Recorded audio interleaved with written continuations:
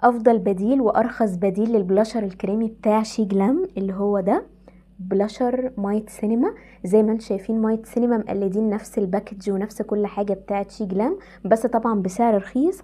عايزة أقول لكم إن البلاشر بتاع مايت سينما ده ب 90 جنيه يعني تقدري تشتري 3 درجات بتمن درجة واحدة بس من بتاع شي جلام. رهيب رهيب يا بنات. الدرجة اللي معايا دي درجة 104 أهي.